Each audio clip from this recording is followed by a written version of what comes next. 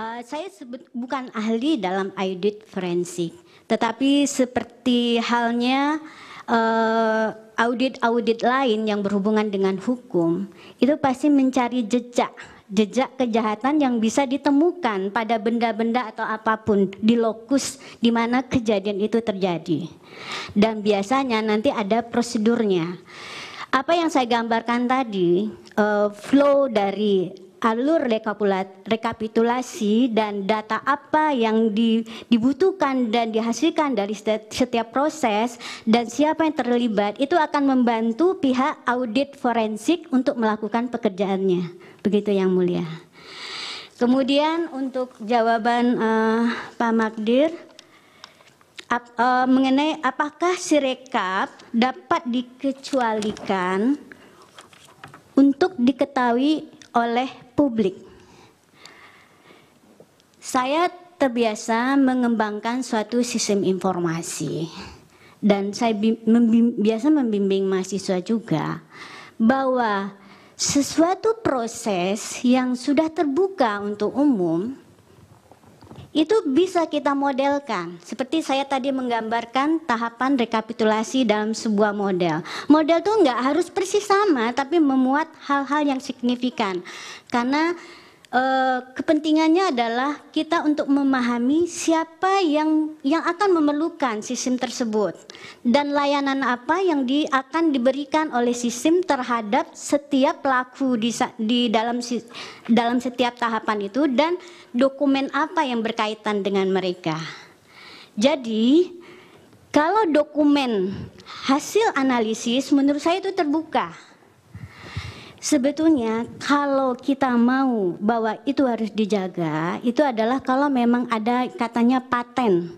Paten ini adalah paten lebih terhadap pembacaan mungkin ya yang di Sirekap Mobile bahwa dari hasil foto C1 itu nanti KPPS bisa foto, kemudian software akan melakukan komputasi sehingga angka-angka yang ada itu bisa diterjem, dikonversi ke data numerik karena itu kan udah ada kotaknya.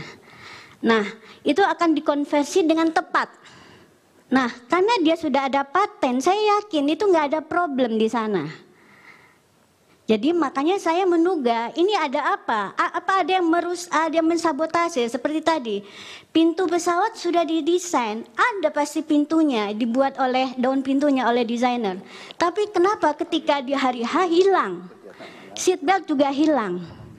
Nah, itu yang terjadi yang mulia. Uh, jadi yang bisa dijaga itu adalah yang yang boleh disembunyikan paten, tapi paten itu kan jelas apa yang dilakukan dan dia sudah teruji. Jadi uh, menurut saya software Sirekap Mobile harusnya bisa menghasilkan data yang benar. Dan lalu kenapa bermasalah? Nah, itu kembali lagi pada persoalan tadi, modus manipulasi suara secara masif tadi untuk bisa membawa ke sana. Maka dilakukan dugaan saya dilakukan hal-hal tertentu sehingga bisa diedit oleh KPU kabupaten kota. Kemudian uh, bisa menutupi bahwa ini uh, sudah terjadi memang perubahan. Padahal harusnya itu nggak terjadi. Kalau softwarenya sesuai dengan desain awal. Kemudian hmm, alat untuk menutup uh, hasil. Sebetulnya tadi saya sangat percaya sama teman-teman saya di ITB karena kami uh, kakak kelas, adik kelas, kemampuan mereka pasti teruji dan Prof. Iping Supriyatna itu adalah pembimbing saya S1 sampai dengan S3. Beliau sangat ahli di bidang itu punya punya paten untuk uh, digital saya, saya lupa nama panjang tapi bisa membaca tulisan tangan di sini di scan sampai hasil hasilnya uh, uh, karakternya muncul sesuai uh, sebetulnya saya yakin bahwa itu bukan software paten itu yang bermasalah karena apa kejanggalan lagi adalah nggak mungkin ya satu angka itu bisa berubah menjadi n angka.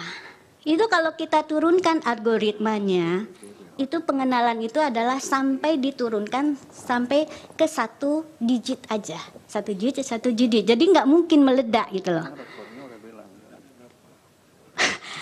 Nah, satu lagi ya, bahwa terjadi edit yang menurut saya ini seperti apa ya? Itu tadi ada pegawai bank seenaknya mengubah-ubah data transaksi dari nasabah, padahal itu nggak boleh. Data suatu transaksi itu nggak boleh diubah. Kalau di, kalaupun harus dibenarkan, lihat dia harus dientrikan lewat transaksi baru kalau terjadi kesalahan. Kalau ini yang saya lihat adalah seperti ditimpa, nggak ada, nggak ada penjelasan dokumen berita acara dan sebagainya. Jadi uh, kalau menutupi, uh, jadi jadi saya yakin desain teman saya benar. Cuman uh, apakah sirekap sekarang untuk menutupi? Ya konsekuensinya seperti itu ternyata saya sudah prediksi, prediksi bahwa suatu saat informasi Sirekap pasti ditutup. Itu sebelum ditutup. Bahkan mungkin diklaim seperti CCTV disembunyikan oleh Pak Sambo, lalu lokus KM59 dimusnahkan, bisa terjadi itu. Yang lain saja Ibu. Ya. Sudah habis? Terus yang pertanyaan dari Uh, Pak Ketua KPU, mohon maaf, saya memang uh, tidak membuat persis sama. Tadi C, C1 tahu itu salah, C hasil gitu ya. C hasil, D hasil PPK, D hasil uh, kabupaten uh, kabupaten kota itu memang ada ya. Untuk yang terakhir ada rekapitulasi nasional namanya formulir D. Kemudian SK KPU 224 ini sa sa saya agak lupa Pak. 360. saya banyak banget. 360 tentang apa itu didasarkan sirekap ataukah? Oh ya, saya, uh, saya tadi dapat pencerahan bahwa sirekap itu di aturannya memang sudah dijadikan sebagai alat uh, sebagai alat bantu untuk publikasi uh, publikasi hasil dan juga rekapitulasi nasional. Itu sudah diatur oleh undang-undang uh, peraturan KPU mungkin ya.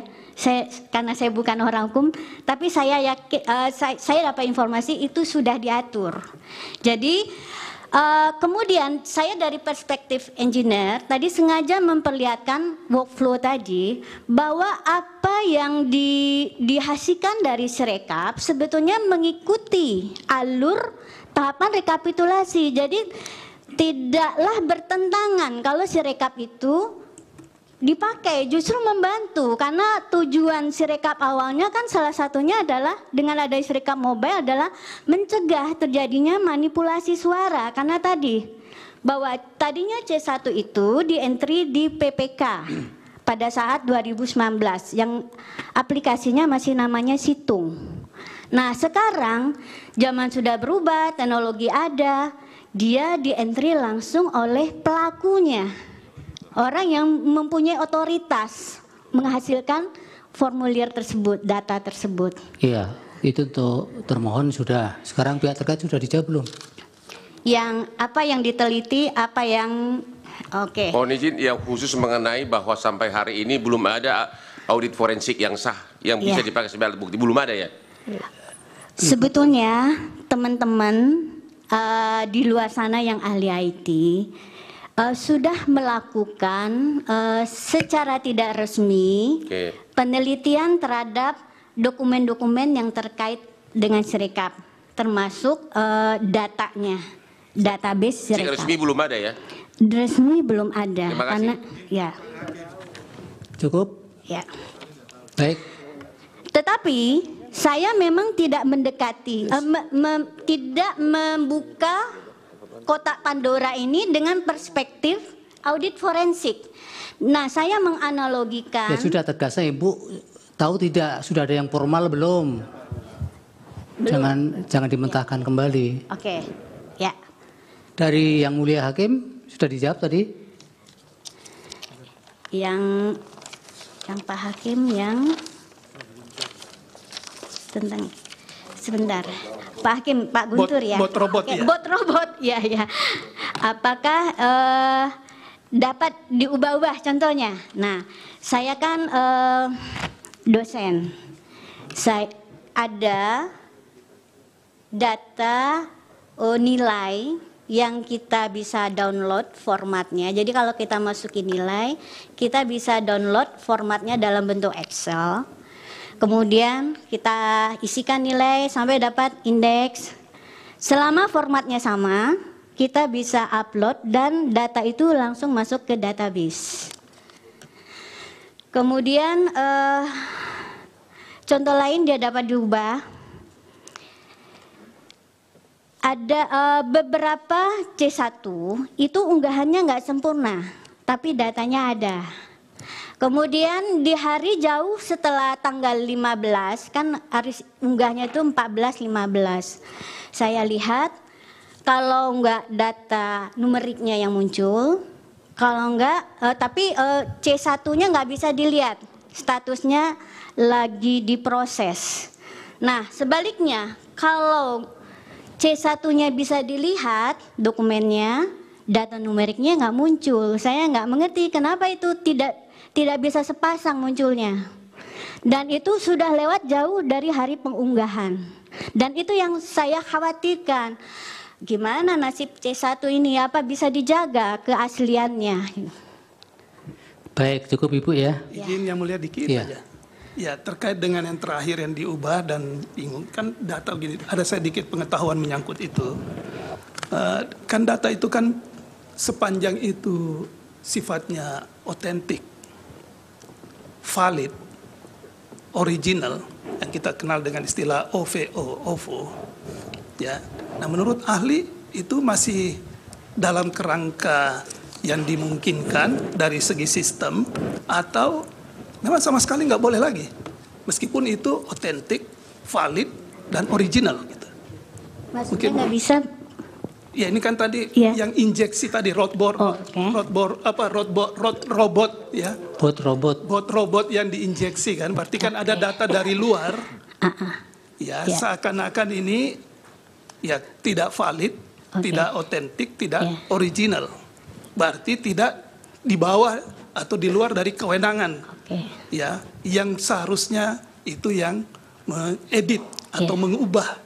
Kan edit atau mengubah itu sepanjang itu adalah valid, Ya. otentik, original, itu kan sah-sah saja ya. Ya. Tetapi kalau tidak valid, tidak otentik, tidak original, maka itulah menjadi persoalan. Iya. Nah, menurut ahli yang tadi yang ahli jelaskan itu, apakah masih dalam kerangka ya? Kan tadi flowchart ya, eh, flow apa namanya? eh, arus itu Iya. apa kerjanya tadi workflow ya, yang tadi yang Ibu jelaskan tadi itu kan eh, ada kemungkinan itu eh, apa dilakukan penyesuaian. Ya, jadi misalnya tadi Ibu kan mengatakan tidak ada editnya di situ, tidak di sini tidak hilang edit, validasinya hilang gitu di hari H. Iya. Nah, terkait dengan soal ini, apakah kalau memang itu data dalam hal ini apa C hasil itu masih dalam kerangka original, valid dan otentik menurut Ibu dari sudut pandang Ibu itu keahlian Ibu itu memang sama sekali nggak bisa diubah lagi atau masih bisa sepanjang itu otentik, valid dan original. Mungkin itu pertanyaan anunya. Terima Untuk kasih, Yang. Mulia. Eh, makanya saya merekomendasikan juga bahwa KPU perlu mengupload kembali semua C dan D hasil. Karena sekarang itu tidak lengkap. Dan bagaimana kita tahu bahwa dia itu asli?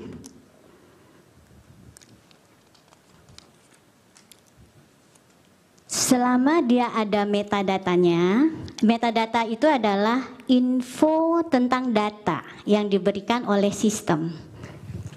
Misalkan kapan dia diupload, di mana lokasinya dan sebagainya. Dari perangkat apa dia diupload.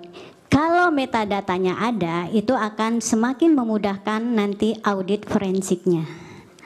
Kemudian eh, apa ya tadi saya mau Sudah cukup Ibu. Oke, oke. Tadi sudah cukup, sudah. Pak Hakim juga sudah. Ya, terima kasih. Baik,